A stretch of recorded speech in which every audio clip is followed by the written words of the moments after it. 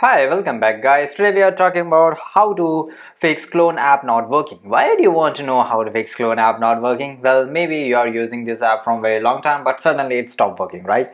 No problem. So today I will show you how to fix clone app not working easily. By the way guys, check the video description and I will try to leave the written instruction there.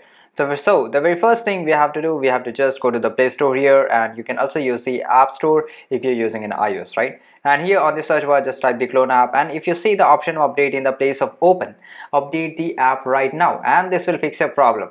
And if it doesn't, then I will give you the second solution that you have to just go to the setting of your mobile phone, scroll a little bit down and here just go to the app management, go to the app list and here it will take a very few seconds just to load depending upon the apps which is available on your phone right?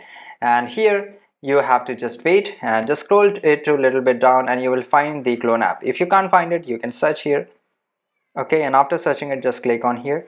You have to force stop if the option is available here. Then you have to click on the storage usage clear the cache and just try to reopen the app. But if the if it doesn't work again then you have to clear the data right? And this will delete all the data wasteful data and this will make your app completely new. And after that you can start using the app once again and it will work perfectly fine. So there you go guys. Uh, if you want to know how to how to fix clone app not working this is the easiest way i know how. If you know another way how to fix clone app not working leave a comment down below. Be sure to subscribe for more videos. Thank you for watching.